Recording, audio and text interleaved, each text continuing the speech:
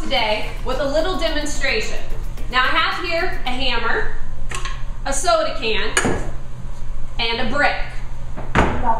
I'm going to go ahead and zoom the camera in so that you can take a look at what we're doing here.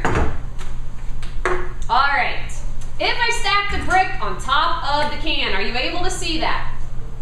Yes. All right. I'm going to take the hammer and I'm going to pound it on the brick.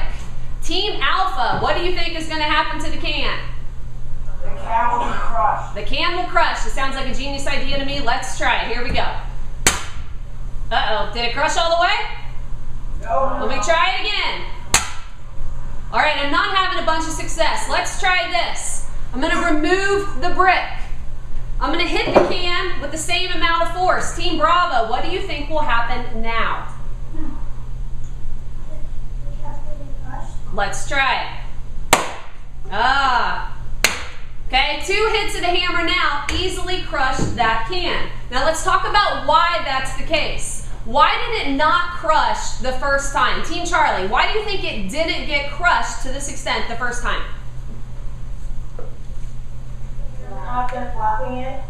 I like how you worded that. The brick blocked it. The brick, was it at rest or was it in motion?